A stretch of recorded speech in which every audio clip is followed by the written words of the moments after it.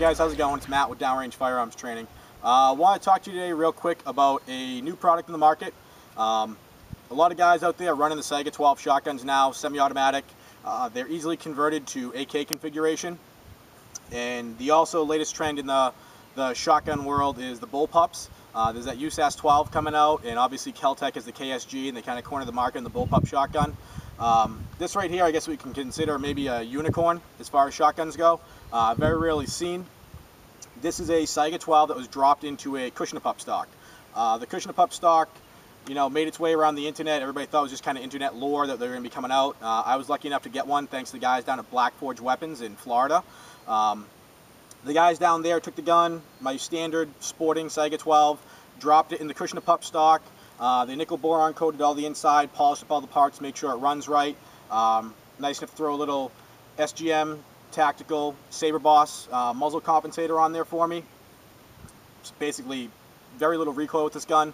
Um, in my eyes, I'm a big fan of semi-automatic shotguns as opposed to some of the pump guns. Uh, this is just cool. It looks like a space gun. It's a bullpup. It's a shotgun.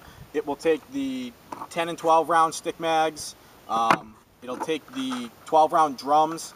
Uh, you probably see pictures of it online with the 20 round drums. It will absolutely accept that. The only problem is the fact that wrapping your arm around it, uh, you got to kind of have like huge giant arms, which I don't have.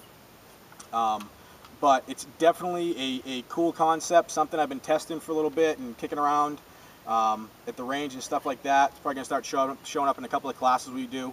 And, you know, just want to give you guys a quick peek at it because, again, there were pictures online. Uh, nobody really had them. I think I'm one of the first people in the country to actually have the gun completed. Um, so I want to give you guys a first look at it. And we're going to run some rounds through it and see how it works. All right, guys, like I said, just going to run a couple of uh, rounds on the barrel of my new Kushnapup Saiga 12, thanks to the guys at Black Forge. Um, 12 round drum, I got a 10 round stick mag. um, believe it or not, I've shot a lot of bullpup guns in the past. Not really a fan of them. Uh, one reason being is the fact that the recoil, you're kind of taking everything back on the chin, kind of hurts. Um, this gun actually is pretty pretty tame as far as recoil management goes. Um, it, it's, it's not as bad as some of the other guns I've shot. And it's just, I, again, like I said, pretty kind of cool space age design. Uh, using Remington two and three quarter inch sluggers. Uh, Mike from Blackforge threw a TAC 47 um, gas block on here, adjustable gas block. And basically what that does, it allows me to run everything in my Saiga 12. A lot of the guns are pretty picky as far as the slugs and buckshot and birdshot. Uh, I've tested a couple different rounds of this gun and so far it's run everything pretty well.